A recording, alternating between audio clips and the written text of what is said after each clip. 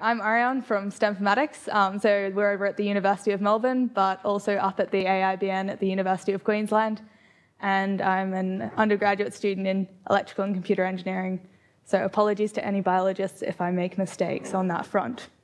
So today I'll be talking about merging biological data types to create integrated visualizations. so what this project really is, is Bioplatforms Australia came to STEMformatics and asked us to do some of their visualizations. So what STEMformatics does is we create nice online easy visualizations for stem cell biologists. And so what we mainly deal with is gene data and protein data. So Bioplatforms Australia actually also asked us to deal a bit with metabolic data. So this is quite a new field. Um, for an example, the first metabolic database I think was curated in 2005. So it's a lot more recent than gene data, basically. So we had to have a bit of a survey of what was around there and figure out what we wanted to create. So what we wanted to create was putting the expression data from our researchers, so um, expression data of metabolites, onto a pathway. So a pathway is um, a network basically defining the relations between these metabolites. So how one chemical transitions to another from a particular reaction within the body or within the cell. And add this um, also with statistical values. So what is the significance of what we're seeing? And is this expression value important to me? So we had a look at what was around to see if this suited our users. So our users, I think I mentioned, are biologists primarily, so stem cell biologists. And as they don't have too much background in metabolomics, they wanted something which was a bit easier to use, so friendly, so not too comprehensive and not overcomplicated, so that your signal still stands out. So the available tools, um, I've only picked two because that's easy for me um, were Reactome and BioCyc. They're two of the most popular ones. And so the primary issues with these ones when I was trying to use them was that they were pretty slow and quite complicated. So for someone starting out with metabolics, it probably wasn't ideal. So speed, um, also I'm only serving online tools because we want things to be collaborative. We want things to be able to be used online between research groups around the world. So an issue with speed, as everyone knows when you're doing data visualizations, is transferring data. So how do we transfer a lot of information over the web and get it to be quick? So we want to transfer data with less calls, because each call to the database is going to take time. There's going to be latency. We want to reduce those pathway structures. So in the um, tool, I guess, so when you're doing metabolic visualization, the biggest thing you're going to deal with is the network. So it's that big information blob which says this reaction goes to this one. And we also want to separate the visualization and the upload process so that people don't have to re-upload the same data set, don't have to do calls back to the database for the same piece of information because we've already got that there.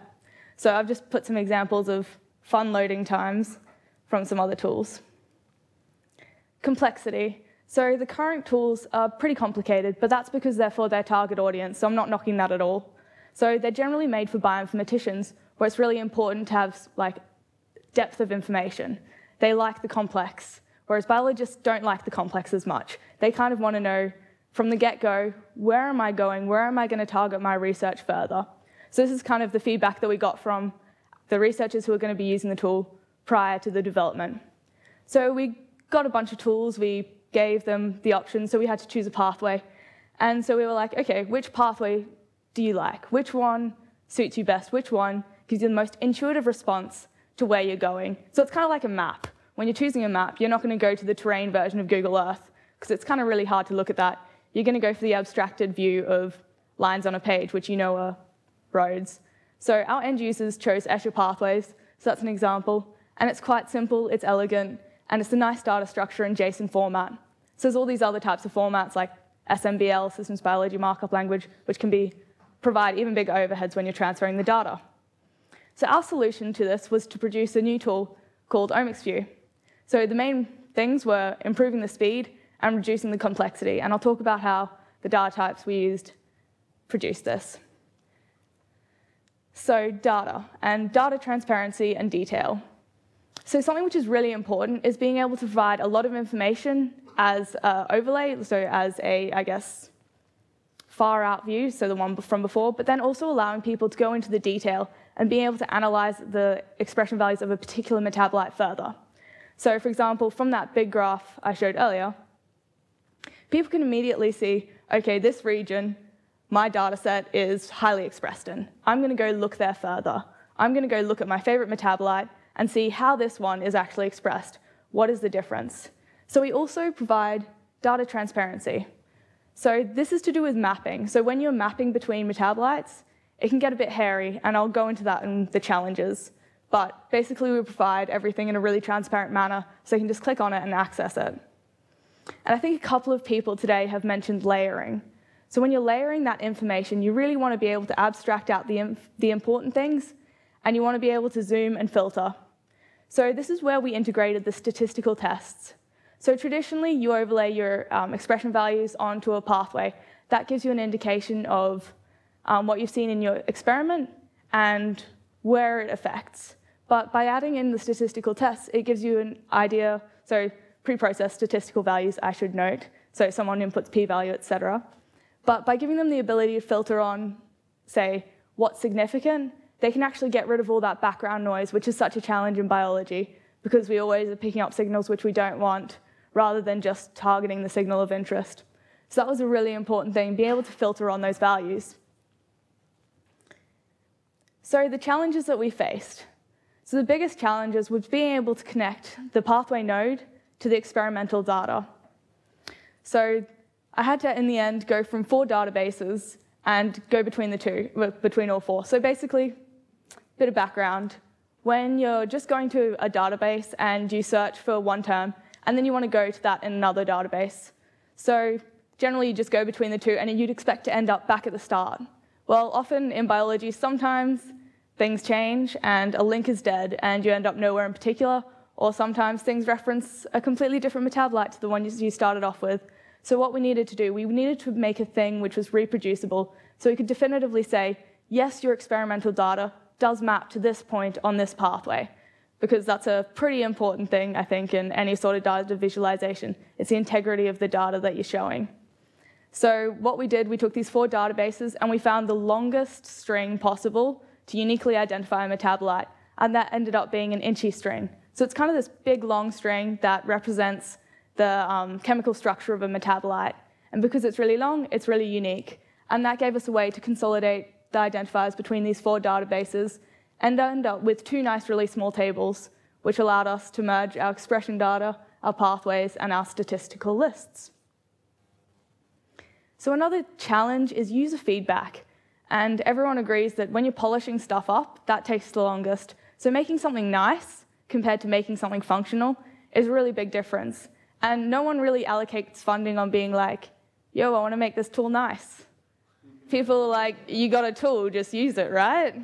So, yeah, but then again, we found that although it had all this functionality, people weren't able to use it because they couldn't find it, because it was difficult, because if people don't get it immediately in a couple of clicks these days, they're like, oh, I'm done, cool, give me the next tool. Or I can't find it, I'm too lazy. Um, so what we needed was a lot of user feedback, which should have been a lot more iterative. So this, we had a bit of um, troubles with that because I actually did this for my undergrad thesis project, so it was done in about three months, which meant that there wasn't time, much time for toing and froing. So we mainly went from feedback at the start to feedback at the end, which we're receiving now. So I'd like to thank Metabolomics Australia for all the awesome feedback, actually. So some of the things which you get from feedback from users, which you wouldn't notice yourself, for example. For me, as an engineer, I think having the scales consistent across the visualization is really important because that gives you a way to comparatively analyze the metabolites for me.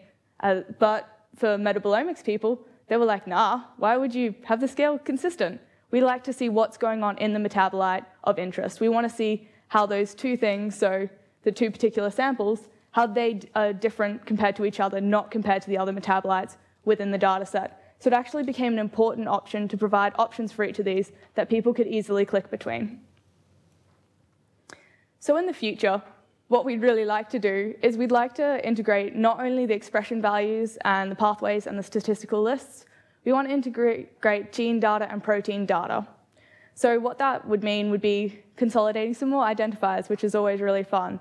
And this sort of thing hasn't been, well, it's really difficult. I, am just going to leave it at that. Feel free to ask any questions. but basically by adding in the gene information, you're kind of adding in the rules of what things are happening. By adding in the protein information, you're kind of adding in these are the things which make it happen. And by adding in the metabolite information, you're adding in the snapshot of a particular point in time of your system. So when people integrate all these different data types, they get a really good idea, well, a goodish idea of what's going on in the cell at a particular point in time. And that gives them an indication of maybe why one group has a disease and why one group doesn't. That gives them an indication of perhaps we can use this drug to target this particular area on your metabolism cycle, and maybe this will solve it. So that's what we're really aiming to do in the future. And so I'd like to acknowledge um, everyone on these slides, and particular Roland for all his help. Thank you.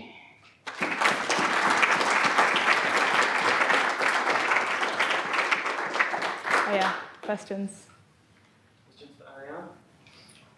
That was awesome. Oh, thank you. Yeah, I've got a question. Oh. Um, with the uh, user feedback, have you had conflicting user feedback from different populations of users? So we have. So thank you for that wonderful question, Roland. Um, it's been really important to keep in mind who the audience is, who the, our target is, because you don't want to reinvent something where people already have a tool for their group. So we do get different feedback from the bioinformaticians versus from the biologists. And I mean, you kind of want everyone to be able to use it, but sometimes that's not realistic and you need to choose one audience. So we've targeted it towards the biologists who do give different feedback of saying, look, I'm not particularly interested in a metabolite, um, like in one particular metabolite. I don't have a favorite metabolite. Like people have their favorite genes, right? People don't have their favorite metabolites. I don't know, something like that. So they like to see the overview, and that's really the important thing, and then being able to go in.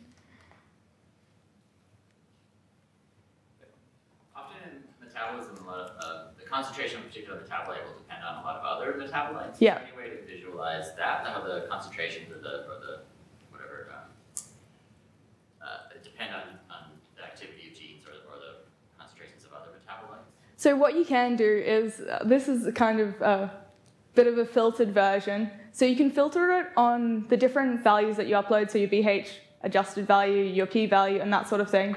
You also have the ability to filter on the difference between the metabolites if you upload that as a particular information content. And that would be able to give you a way to highlight, so say in pink or blue or green, something within your data set. So it's a pretty modular process. Also, I should note this is still beta,